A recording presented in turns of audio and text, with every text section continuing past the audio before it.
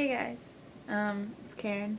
This is my third video tonight, so, um, yeah, I'm ready for a chill song. Are you guys ready for a chill song? Cool. Um, this is my super acoustic, laid back version of All Around Me by Flyleaf. This goes out to Seth for giving me the idea. Thank you. You're fantastic. I love you. Um, yeah. I hope you enjoy it.